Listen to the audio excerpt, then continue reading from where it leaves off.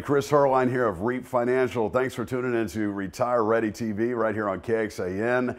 You know, one thing is very true here in 2023. Your social security claiming strategy is critical as it's a pillar in your retirement. These are your dollars that you've been paying into the system for years, and we want you to wring every nickel out of the system come time for you to claim Social Security. Now, right here on KXAN over the years, I've talked about voluntary suspension strategies. I've talked about the uh, file and suspend, the restricted application strategy. But the one strategy that's still available here in 2023 and highly underutilized is that voluntary suspension strategy. And a lot of you may not be familiar with this. Let me explain how it works. When you turn 62, you are now eligible to take Social Security. And now, if you take it early at 62, you're going to see a reduction in your benefit. But how does the voluntary suspension play in? Well, let's assume you're getting those checks now for many years. You turn 66, 67, whatever your full retirement age is, that depends on your birthday. And at that point in time, you can voluntarily suspend your benefit. And now it begins growing in deferral at 8% a year. And you can do that all the way up to age 70.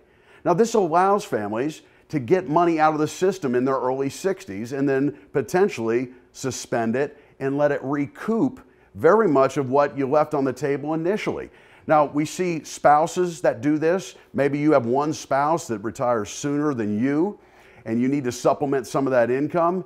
Um, there's other strategies as well, just depending on age factors and more. In 2023, the job market, if you were to, let's say, lose your job, you may need to supplement that way, but you get a job later down the road, you can voluntarily suspend.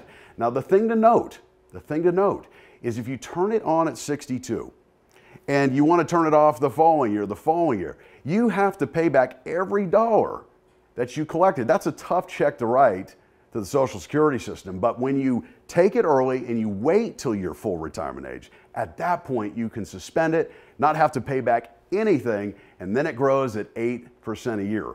Now, this is a powerful strategy, and I'm going to tell you Social Security is the backbone of most Americans' retirement plan, and these are your dollars. We have a great report updated here for 2023, the Social Security Decision Guide, and I want you to get your hands on it. It's at no cost for all of our KXAN viewers. Email me right now, retire at reapfinancial.com. Right there on the screen, retire at reapfinancial.com. And my team is going to have it on its way to your inbox. Retire at reapfinancial.com.